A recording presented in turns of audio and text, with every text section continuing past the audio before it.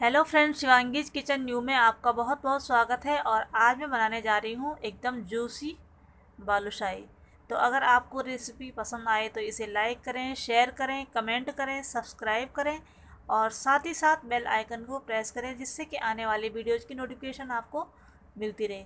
तो चलिए शुरू करते हैं आज की रेसिपी बालूशाही बनाने के लिए हम सबसे पहले चाशनी तैयार कर लेंगे और इसके लिए मैंने ये एक कटोरा लिया है। इसके नाप से मैं दो कटोरा चीनी डालूँगी इसमें। और इसका आधा पानी, एक कटोरा इसमें पानी ऐड कर लूँगी। तो अब मैंने इसको यहाँ पे गैस पे रख लिया है और यहाँ पे हम चाशनी तैयार कर लेंगे।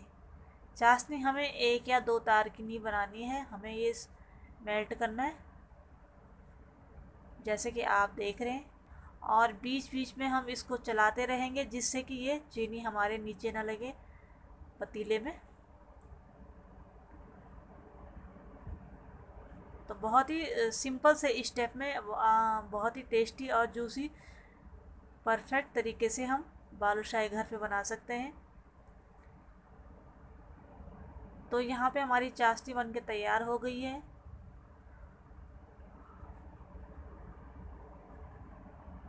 और अब हम इसमें थोड़ा सा इलायची पाउडर भी ऐड कर लेंगे। और अब हम यहाँ पे आटे का डो तैयार कर लेंगे। तो इसके लिए मैंने यहाँ पे ये उसी कटोरे से डेढ़ कटोरा या पौने दो कटोरे मैंने बेसन, ये मैदा लिया है और ये आधे चम्मच के आसपास बेकिंग पाउडर लिया है।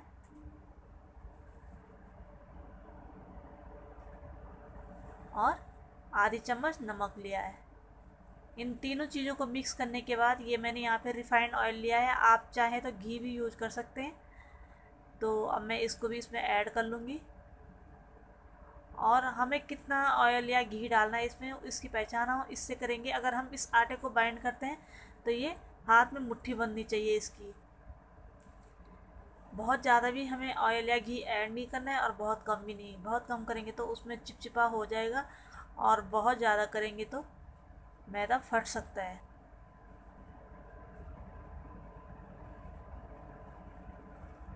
तो ऑयल या घी को पहचानने का कि भाई कितना डालना है, इसके लिए हमारा परफेक्ट यही रहता है कि हम आटे को ऐसे मुट्ठी में लें और इसको बांधें।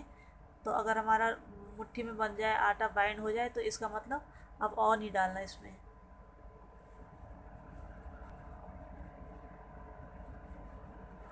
और आटे का डो हमें बिल्कुल सॉफ्ट नहीं, पूरी नहीं लगाना है इसका। केवल इतना करना है कि ये सारा मैदा इकट्ठा करना है और इसको अच्छे से गूंदना नहीं है। तो देखो, आप जैसे देख सकते हैं कि ये यहाँ पे बाइंड होने लग गया है। तो अब हमारा ये आटा परफेक्ट हो चुका है। इसमें हम और ऑयल ऐड नहीं करेंगे। अब इसमें हम थोड़ा थोड़ा करके पानी मिलाएँगे और इसका डो तैयार कर लेंगे।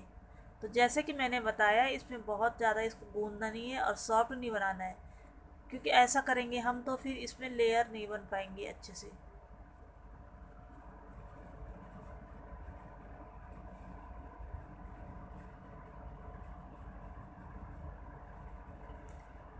तो ये यहाँ पे हमारा मैदा तैयार हो गया डो तैयार हो गया और अब हम इसने इसे इसमें चकले में फैला देंगे और इसको अपने हाथों से चौड़ा करके और बीच से कट कर लेंगे।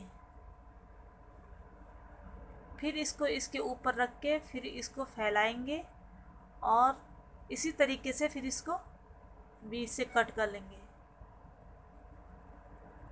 तो ये प्रोसेस हमें कम से कम आठ या नौ बार रिपीट करनी है।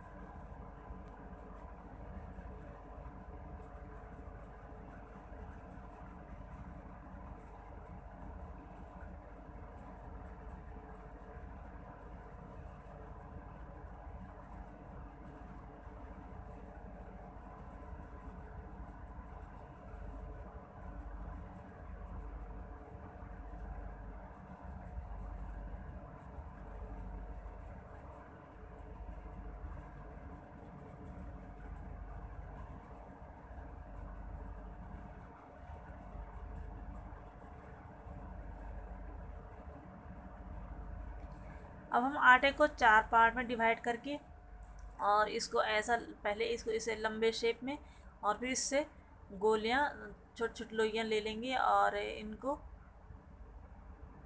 दूसरी तरफ़ हम यहाँ पे चूल्हे पे ऑयल रख देंगे गरम करने के लिए और इसको लो फ्लेम पे ही गरम करना है।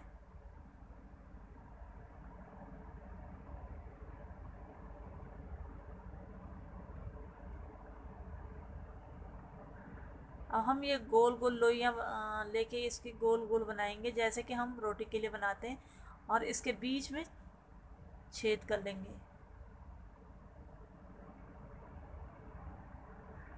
तो इस तरीके से हम बालूशाही तैयार कर लेंगे।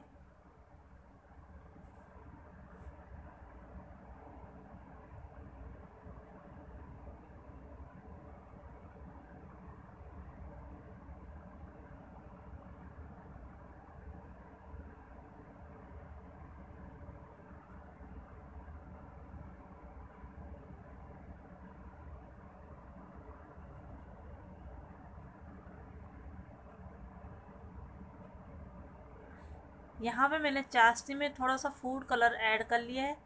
आप चाहें तो इसकी जगह केसर भी ले सकते हैं, लेकिन मेरे पास केसर अभी था नहीं तो मैंने ये फ़ूड कलर ऐड कर लिया है, जिससे कि हमारे बालूशाही का कलर अच्छा आ जाए। और यहाँ पे हमारा तेल भी अच्छे से गर्म हो चुका है, जैसे कि मैंने यहाँ पे चेक किया और ये आटे की गोली डाली थी, ये ऊपर आ गई। तो अब हम एक एक करके इसमें सारे बालूशाही अपने डाल देंगे और इनको लो फ्लेम पे ही गर्म करना है।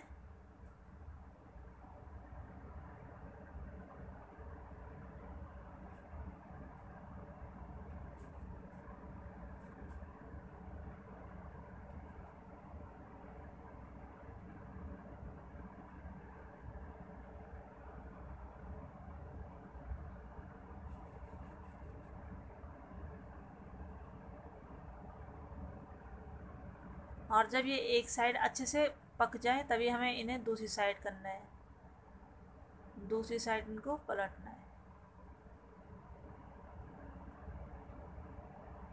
बड़े ही ध्यान से।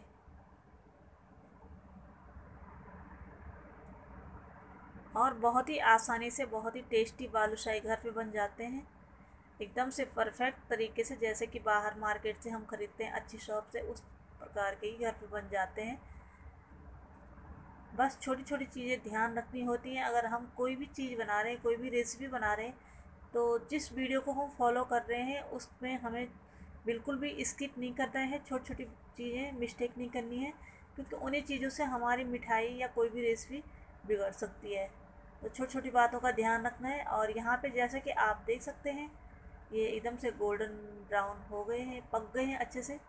तो अब हम इनको निकाल लेंगे यहाँ से और चाशनी में डाल देंगे।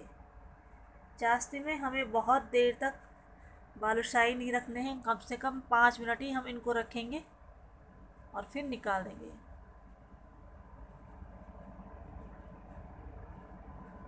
तो जैसे कि आप देख सकते हैं, यहाँ पे मैं एक एक करके इनको निकाल लेती हूँ।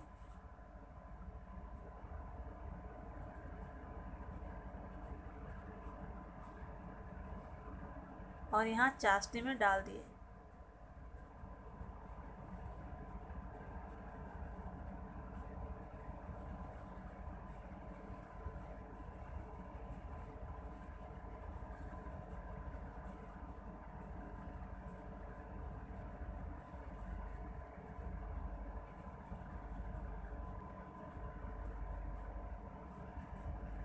चाशनी में ये अच्छे से डूब गए हैं, इनको दूसरी साइड भी पलट लेंगे। और चार पाँच मिनट बाद हम इनको निकाल लेंगे।